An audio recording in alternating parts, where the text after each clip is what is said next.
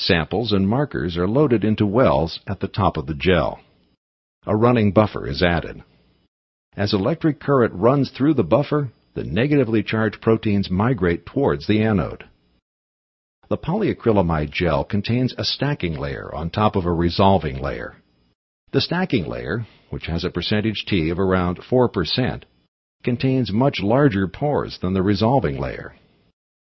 Proteins tightly stacked like coins in order of decreasing mobility migrate through the stacking layer. At this stage, mobility of the proteins depends on the electrophoretic conditions. Because of the drastic difference in pore size, once the protein stacks reach the resolving layer, the proteins begin to separate according to size. Because small proteins experience less resistance as they move through the pores, they move more quickly than larger proteins. The dye front consists of a very small dye molecule, like bromophenol blue, which is mixed and loaded with the sample proteins. Because of its small size, the dye front moves ahead of the proteins. The position of the dye front is a good indicator of how far the proteins have progressed through the gel. Electrophoresis is complete once the dye front reaches the bottom of the gel.